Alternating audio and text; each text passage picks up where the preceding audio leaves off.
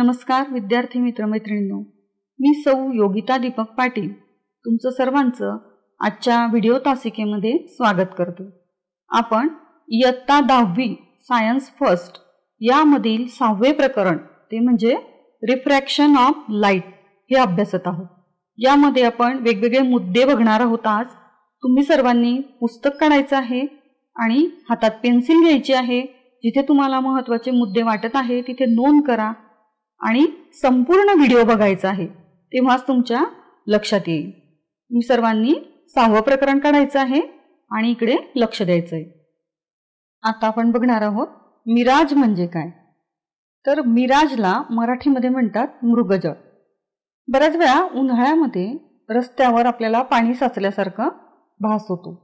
किंवा वाळवंटामध्ये पण तुम्ही ऐकलं असेल की पाणी असल्याचा भास होत असतो म्हणजे आभास होत असतो. तर असं होण्याचं कारण काय? तर त्याचं उत्तर आहे मिराज. म्हणजे काय? मृगजळ. Mirage is an optically illusion म्हणजेच नेमकं काय? ऑप्टिकल म्हणजे काय? तर डोळा. डोळ्याला ऑप्टिकल म्हणतात. आणि इल्युजन म्हणजे काय? आपल्या डोळ्यांना होणारा भास. म्हणून मिराज म्हणजे काय? आपल्या डोळ्यांना होणारा आभास. आता हे जे मिराज आहे हे उन्हाळ्याच्या दिवसांमध्येच आपल्याला बघायला मिळतं शक्यतो आपण हेच बघणार आहोत सर्वप्रथम आपण समजून घेऊया की नेमकं मिराज म्हणजे काय the light ray coming from a distant object appear to be coming from the image of the object inside the ground. This is called as a mirage. पुन्हा लक्ष द्या The light rays coming from a distant object appear to be coming from the image of the object inside the ground. This is called mirage. म्हणजेच काय? मिराज म्हणजे काय? की दूर असलेल्या वस्तूतून म्हणजेच डिस्टंट ऑब्जेक्ट येणारे प्रकाश किरण जमिनीवर असलेल्या वस्तूच्या प्रतिमेतून येत असल्याचं आपल्याला दिसतं. याला काय म्हणतात? मिराज आता आपण बघणार आहोत की मिराज हे उन्हाळ्याच्या दिवसांमध्येच आपल्याला का दिसतं? याचं कारण काय? ते बघू आपण. Mirage happen when ground is very hot. म्हणजे जमीन खूप तापलेली असेल तेव्हा. And air is cool. The hot ground warms a layer of air just above the ground. When the light moves through the cold air and into layer of hot air. It is refracted that is it is bend उन्हाळ्यात जेव्हा जमीन खूप गरम असेल आणि हवा थंड असेल तेव्हा मिराज होईल. म्हणजेच जमीन ही जमिनीच्या अगदी वरच्या हवेच्या थराला उबदार करते. लक्षात घ्या.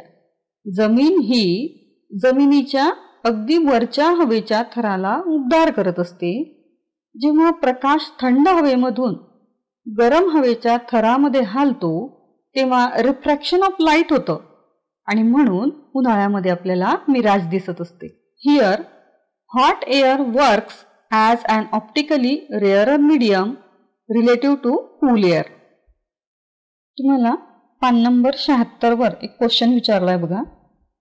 Have you seen that object beyond and above a Holi fire appear to be shaking why does this happen होळीच्या वेळी होळीच्या ज्वालांच्या पलीकडील काही वस्तू आपल्याला हालताना दिसतात. तर असं होण्याचं कारण काय? किंवा बऱ्याच वेळा असाही प्रश्न असतो परीक्षेमध्ये.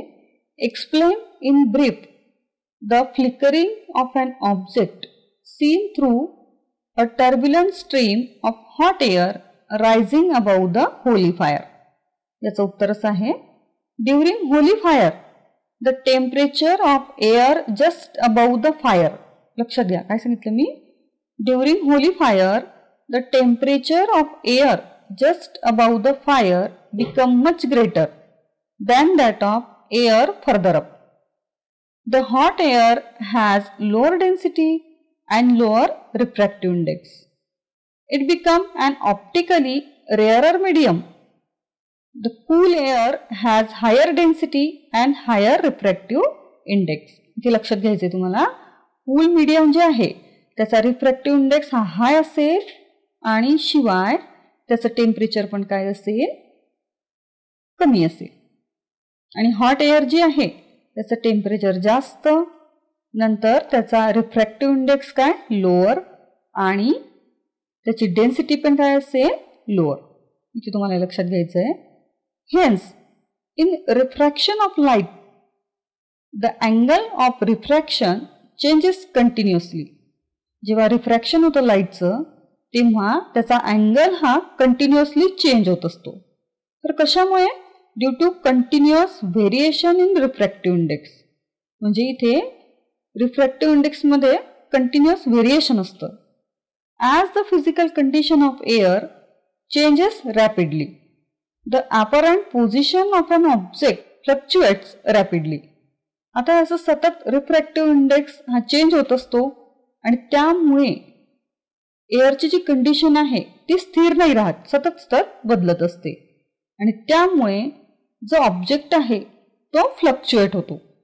This gives rise to flickering of an object seen through a turbulent stream of hot air rising above the Holi fire आपण पुढचा पॉइंट बघणार आहोत. तो म्हणजे ट्विंकलिंग ऑफ अ स्टार तुम्हाला परीक्षेमध्ये प्रश्न असतो. Explain twinkling of a star or also explain why planet does not twinkle म्हणजे तारे आपल्याला लुकलुकताना दिसतात परंतु ग्रह आपल्याला लुकलुकताना दिसत नाही. याचं कारण काय? ते आपण बघणार आहोत. You know that as a star is far away from the earth it appears as a point source of light तुम्हाला माहिती आहे की स्टार हे पृथ्वीपासून लांब आहे. आणि त्यामुळे ते it appear as a point source of light तुम्हाला डायग्राम दाखवली बघा त्याच्यामध्ये निरीक्षण करायचं आहे आणि तुम्ही डेली रुटीन लाईफमध्ये किंवा दररोज आकाशाचं जेव्हा निरीक्षण करत असाल तेव्हा तुम्हाला हा अनुभव असेल. The density of air decreases with height above the earth surface as density of air with height decreases refractive index of air also decreases with height इथे दोघी गोष्टी या लक्षात घ्यायच्या वेन स्ट्रेट लाईट म्हणजे स्टारकडून येणारा लाईट त्याला आपण स्टार लाईट म्हणतो. When star light enter the earth atmosphere म्हणजे ताऱ्यांपासून येणारा जो प्रकाश आहे तो अर्थच्या ॲटमॉस्फिअरमध्ये जेव्हा येतो तेव्हा it undergoes refraction continuously in the medium with gradually changing refractive index म्हणजे जेव्हा स्टार लाइट अर्थच्या ॲटमॉस्फिअरमधून किंवा अर्थच्या ॲटमॉस्फिअरमध्ये तो एंटर होतो तेव्हा त्याचं रिफ्रॅक्शन होत असतं कंटिन्युअसली आणि या कारणामुळे रिफ्रॅक्टिव्ह इंडेक्स हा सुद्धा काय होत असतो? चेंज होत असतो. आणि यामुळे काय होतं? The bending of star light occurs towards the normal as it passes from the optically rarer part of a medium to the optically denser part and hence when a star is observe near the horizon it apparent position is slightly higher than the actual position. म्हणजेच star light rarer part of मीडियमकडून denser पार्टकडे गेल्यामुळे starlight नॉर्मलकडे bend होतो आणि म्हणूनच star त्यांच्या आहे त्या स्थितीपेक्षा थोडेसे आपल्याला उंच भासत असतात further the apparent position varies with time as the medium is not stationary due to mobility of air and change in temperature म्हणजे मीडियम हे जे आहे हे स्टेशनरी म्हणजे स्थिर नसतं. कशामुळे? Due to mobility of air म्हणजे हवेमध्ये सतत हालचाली होत असतात त्यामुळे. आणि अजून चेंज इन टेम्परेचर म्हणजे सतत टेम्परेचर हे बदल बदलत असल्यामुळे या दोन कारणामुळे when more light is refracted towards the observer the star appear bright and when less light is refracted towards the observer, the star appear dim. लक्षात घ्या स्टार हा म्हणजे तारे आपल्याला ब्राईट केव्हा दिसतात आणि कमी प्रकाशित केव्हा दिसतात? म्हणजे डीम केव्हा दिसतात? याचंही कारण आहे. की जेव्हा लाइट याचं रिफ्रॅक्शन होतं जास्त प्रमाणात तेव्हा ते ब्राईट दिसतात. आणि जेव्हा लेस लाइट हा रिफ्रॅक्ट होईल कोणाकडे? टोवर्ड्स ऑब्झर्वरकडे तेव्हा स्टार आपल्याला डीम ॲपियर होतील. म्हणजे कमी तेजस्वी आपल्याला दिसतील.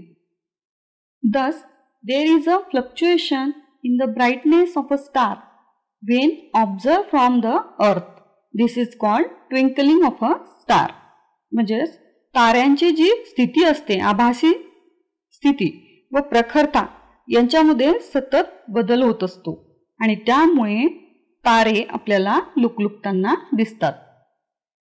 आता आपण प्लॅनेट्सबद्दल बघणार आहोत. Compare to stars planets are relatively closer to the Earth hence a planet appears as a collection of large number of point source म्हणजे प्लॅनेट अर्थच्या कमी अंतरावर आहे. पण काय? इन कंपॅरिझन विथ स्टार्स आणि प्लॅनेट हे जे आहे planet appear as a collection of large number of point source म्हणजेच असंख्य असे बिंदू स्रोत आहेत ते due to the changes in the refractive index of a air there is a change in position and brightness of a point source there is an increase in intensity of light coming from some point sources while there is decrease in intensity of light coming from equal number of other point sources On an average. The average brightness of planet remain the same. म्हणजेच काही बिंदू स्रोत म्हणजे point source यांचं यांचं जे स्थान आहे ते बदलते. पण प्लॅनेटचे स्थान जे आहे ते बदलत नाही. आणि जरी पॉइंट सोर्सपासून येणाऱ्या लाईटची म्हणजे प्रकाशाची प्रखरता कमी झाली तरी दुसऱ्या एखाद्या पॉइंट सोर सोर्सपासून येणाऱ्या प्रकाशाची प्रखरता म्हणजे इंटेन्सिटी ही वाढते. आणि म्हणून average brightness of planet remains same आणि हेच कारण आहे की प्लॅनेट जे आहे हे यांचं average brightness remains the same and also there is no change in the average position of planet hence a planet does not twinkle म्हणजेच प्लॅनेट यांचे स्थान आणि ॲव्हरेज ब्राईटनेस हा स्थिर राहिल्यामुळे ते आपल्याला लुकलुकताना दिसत नाही. विद्यार्थी मित्रमैत्रिणींनो आज आपण what is mean by mirage त्याच्यानंतर आपण बघितलं की flickering of an object seen through a turbulent stream of hot air rising above the holy fire त्यानंतर आपण बघितलं ट्विंकलिंग ऑफ अ स्टार आणि प्लॅनेट हे ट्विंकल का होत नाही हे पण आपण बघितलं. तुम्ही हे सर्व वाचायचं आहे तेव्हाच तुमच्या लक्षात येईल. आणि दिलेला जो होमवर्क आहे तो रेग्युलरली करायचा आहे. आपल्या वहीमध्ये तो सोडवायचा आहे. विद्यार्थी मित्रमैत्रिणींनो तुम्ही जर चॅनलला सबस्क्राईब केलं तर तुम्हाला पुढचा जो येणारा व्हिडिओ आहे त्याचं नोटिफिकेशन येत जाईल. आज आपण इथे थांबणार आहोत. तुम्ही सर्व वाचायचं आहे. आपण लवकरच पुढच्या तासिकेला भेटणार आहोत.